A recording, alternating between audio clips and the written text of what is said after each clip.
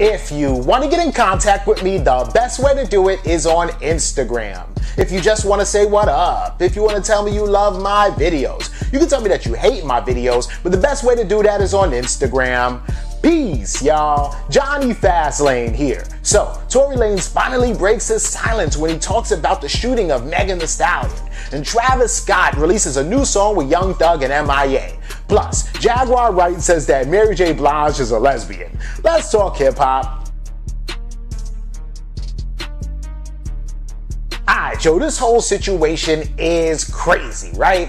Um, alright, so let's just recap real quick. Y'all know Tory Lanez and Megan Thee Stallion have this whole thing going on, right? So a little over a month ago, Tory Lanez and Megan Thee Stallion were leaving a pool party and then they got into an argument inside of a vehicle. Shots rang out and Megan Thee Stallion caught a bullet in her foot or something, right? Um, anyway, Megan Thee Stallion went on Instagram and she said, yeah, I had glass in my foot. It was crazy. I went to the hospital. They did surgery. Then she came back a couple days later and said, you know what? Fuck that. Let me stop trying to protect Tory Lanez. Tory Lanez shot me in both of my feet and I want to air him out, right? Crazy as hell. That's when everybody was like, what? Tory Lanez shot you? Ba ba ba ba ba ba, right? Tory Lanez hasn't said anything the whole time. He's been completely silent until yesterday where Tory Lanez about 4.30 around, you know, in the middle of the day went on Twitter and Instagram with the same message, right? So Tory Lane said, to my fans, I'm sorry for my silence, but respectfully, I got time today, 9 p.m., right? So here's what I'm thinking. At 9 p.m., Tory Lanez is gonna go on Instagram and he's gonna do like a Q&A and he's gonna talk to people and give them his side of the story, just like Megan Thee Stallion did, right? But he didn't do that. So at 9 p.m., he did go on Instagram and on Twitter, but what he did was he announced a brand new album. So while this is going on, Tory Lanez is like, fuck that, I'm putting out new music, right? Crazy as hell. So anyway, on his new album, uh, there's a song called Money Over Fallouts, right? And basically, on that song, um, he has a lot to say about the complete uh, situation about Megan Thee Stallion, right? So what he does is he's saying that, you know what, Megan Thee Stallion is trying to set me up, that I did not shoot her in the foot, right? He's saying that there are other people in the vehicle and whatever happened, happened. He doesn't go into detail about what really happened, but he says that he doesn't want to because he might affect the outcome and he knows that in the end of everything that he'll be found innocent, right? He has some questions. He said, well, why did I only get charged for having a gun and not charged for shooting the gun if I shot her, right? He also said, how did you not get you know, any broken bones in your foot or, you know, any ripped tendons or anything in your foot like that if you got shot in the foot, right? Um, and he's presenting all these questions that a lot of people on the internet already had. I mean, it's just crazy because what Tory Lanez is saying and what Megan Thee Stallion is saying is completely different, right? I, you know, there's three sides to every story. There's his side, her side, and the truth, but both their sides are not even kind of sounding even a little bit together, right? Um, anyway, so a lot of people on Twitter wasn't here for the fact that Tory Lanez had to drop an album to talk about his side of the story. As a matter of fact, most people were offended and disgusted about the whole situation, right? One of the people that was offended and disgusted about the situation is Asian Doll, right? Um, and she's here to protect black women, even though Asian Doll is not Asian, she's black. But anyway, so she says, if that was me, uh, you wouldn't even have uh, lips uh, to rap about shit, or your face would have been in your lap the moment you decided you wanted to shoot me in the foot, you bitch ass nigga right? Which, you know, I, I, feel her. You know what I'm saying? She's trying to defend Megan Thee Stallion here, right? Um, another person that was very upset about the whole situation was Rick Ross. Tory Lanez, poor decision, brother. Dropping that project. Just out of respect for Breonna Taylor. Just out of respect for Breonna Taylor, brother. We gotta respect these sisters. That ain't how you address the accusations you're facing with the system. That was a poor choice, homie. You ain't getting no money with that shit. So Rick Ross responds to Tory Lanez and says, that was a poor choice what you just did, right? Out of respect for Breonna Taylor, out of respect for every black, yo mama, out of respect for every black woman, uh, you shouldn't address the situation like that, right? Rick Ross doesn't claim to know what happened, but he said, listen, if you want to address this with this sister, do it a different way, but dropping a new project and trying to get money off of what's going on right now is definitely in poor taste, is what Rick Ross was saying. And he said, you ain't finna make no money off of that, um, which is crazy crazy because I agree with Rick Ross, but the thing is that Tory Lanez probably will make money off of that because everybody wants to hear it and hear what he has to say. Right now, Tory Lanez is kind of living in that 6 9 area where it's like people will listen to your shit not because they want to hear you, not because they like you, not because you are their favorite artist, but they just want to hear this crazy ass shit that you got to say about this drama, right?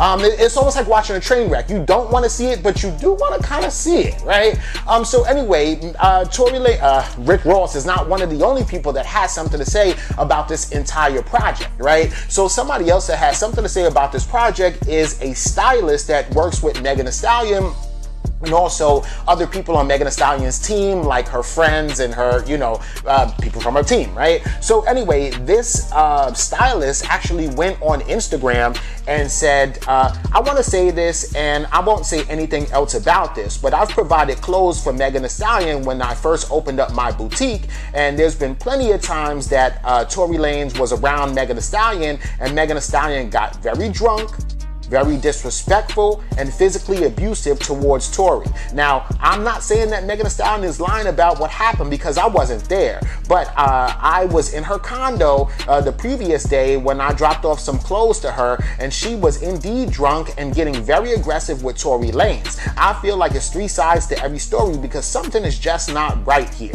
And before y'all start going, oh, protect black women, I'm a black woman too, and Megan is heaven sent and most definitely an amazing person, but she's still grieving her grandmother and her mother. She abuses alcohol and she turns into a completely different person when she does. But you guys will see when Kelsey, uh, when Kelsey speaks, um, when Kelsey speaks, and she will be speaking very soon. Now, for y'all don't know, Kelsey is Megan Thee Stallion's friend who was actually in the vehicle with Megan Thee Stallion, Tory Lanez, and Tory Lanez bodyguard when all that shit went down, right? Um, anyway, so this stylist says, I saw Kelsey in person yesterday as I dropped off clothes to her, uh, but she has a story to tell, and all I'm gonna tell you is it's not too far from what Tory Lanez said, right? Um, which is crazy, right? So that's just somebody else who knows them and is very close to the situation that's kind of saying, yo, don't be too quick to crucify Tory Lanez because what he's saying is kind of true, and maybe Megan Thee Stallion didn't get shot in the foot or whatever, right?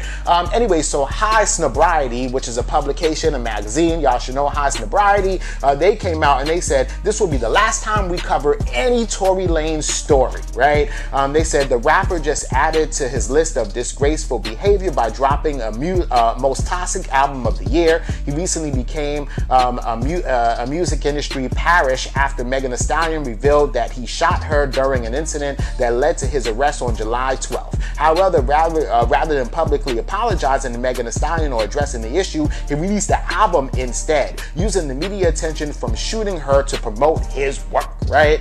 Uh, which is crazy as hell. So certain publications are now cutting their ties with uh, Tory Lanez, right? Uh, all this is insane. That's what's going on right now. Uh, we'll have to see what happens, but Tory Lanez finally speaks, um, and it's just crazy, man. But uh, what do y'all think about this in the comments? Let me know.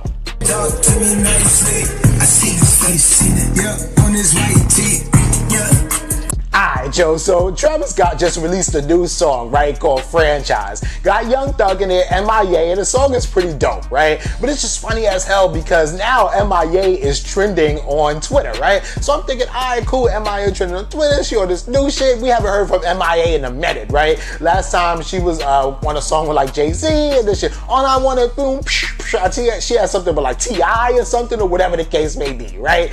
Anyway, so I listened to the song and I'm like, alright right? Now, the song is cool, uh, and uh, MIA's flow is dope, but I was just having a hard time understanding what she was saying, though, right? But you gotta understand that MIA is, she's British, right? So, of course, you know, her rapping style and flow and swag is gonna be a little different from ours, but Twitter was not here for it, right? So, people immediately started clapping at uh, this girl MIA and was like, yo, you are trash, right? So, of course, Travis Scott body this, right? Young Thug body this. Then they got uh, MIA looking like a damn goofball, right? Um, somebody said, yeah, yo, MIA, what the fuck is this shit? Your ghostwriter speak English or nah? And then puts a clip of the lyrics that just really looks crazy, right? So Twitter, of course, had a field day. They were dragging her up and down, but like I said, the verse is not that bad, right? And in her verse, she's actually going back and forth with Travis Scott. So Travis Scott rap two bars, she'll rap four. Travis Scott rap four, she'll rap two. Like they're going back and forth, right?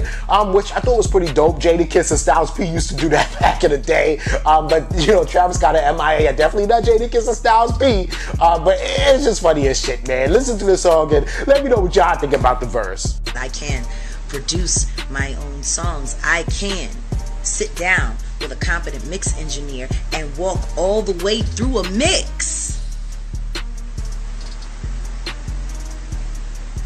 I can do those things, Mary. Can you? What can you do, Mary?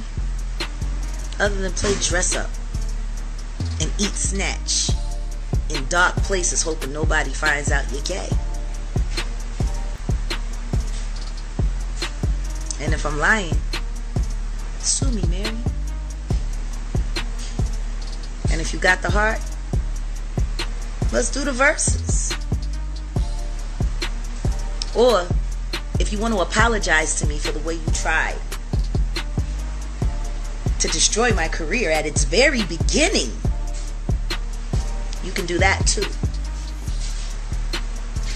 fuck you and fuck Hank Shocklee and fuck your sister, bitch. Alright, yo, this is crazy, right? Because I think Jaguar Wright is trying to uh, get like a versus battle going on between her and Mary J. Blige, but this is definitely not the way to do it. Also, I think Mary J. Blige should be against somebody like Lauryn Hill or Faith Evans, and not know Jaguar Wright, right? But anyway, Jaguar Wright is a neo soul singer from Philadelphia, right? And you saw her there. The whole situation is she's mad at Mary J. Blige and accusing her of quote unquote eating snatch. But let's take it back a little bit, right? Right? So a couple months ago, Jaguar Wright actually did an interview and she said that she was on tour with like the Roots and Common years and years ago and that Common tried to sexually assault her while she was sleeping. It was really weird, right? Um, and then also Jaguar Wright tried to say that just from having a conversation with Summer Walker, she could tell that Summer Walker had been sexually assaulted or raped back in the day, right? Uh, why would she publicly say that? And that was crazy because whether or not Summer Walker was sexually assaulted uh, doesn't mean that you should go in the public and say something about it, right? If Summer Walker was or was not, whenever she feels like she's ready to say something about it or not, is when she will, right? Not for you to take whatever personal information you suspect about Summer Walker and then put it out to the public. Who are you to put Summer Walker's personal information out there, right? Since then, Summer Walker has denounced Jaguar Wright? but now more of the same is going on because she's coming at Mary J. Blige, right? Now, we've seen Mary J. Blige have a few heterosexual relationships, but now she's calling Mary J. Blige a lesbian. Whether Mary J. Blige is a lesbian, heterosexual, or bisexual really doesn't matter to me. I mean, it's, it's none of my business.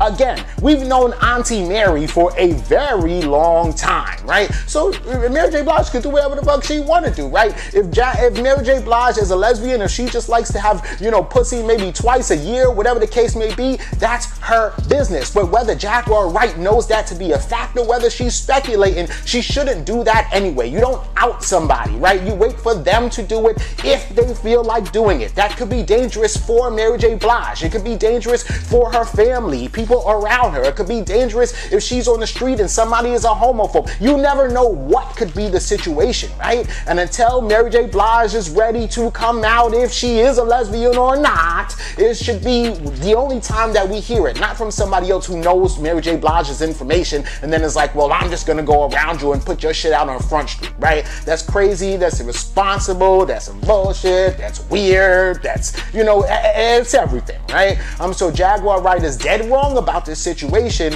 um, but of course she won't apologize, and she's trying to get a versus battle going on with Mary J. Blige, which is why she's going about it like this. But usually people that do versus battles together are friends, right? Snoop Dogg and DMX were friends. Fabolous and Jadakiss were friends, right? So two people that are really truly enemies do not really do a versus battle with each other because y'all wouldn't be able to be in the same room. If Mary J. Blige was in the same room with you, my nigga, she ain't trying to play records. She probably gonna mollywop your motherfucking ass, right? So whatever, man. Let me know what y'all think about this and everything else in the comments down below. Don't forget to like, comment, share, subscribe. Make sure you hit that notification bell. Follow me at Jonny Fastlane on Instagram, and y'all already know what to do. Peace.